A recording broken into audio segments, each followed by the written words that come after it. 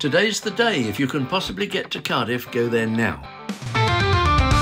Today's the start of EV Rally Cymru. That is the EV Rally in Wales, and EV, of course, as you know, stands for electric vehicle.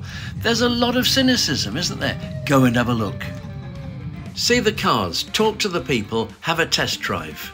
And tomorrow all the vehicles set out. We shall follow them on their way. Here's the route they'll be following, and for those of you who are convinced hydrogen is the future, you'll be pleased to know that there'll be a hydrogen vehicle for the first time in an EV rally aiming to refuel quicker than the electric vehicles. I'm Brian, follow the rally with me.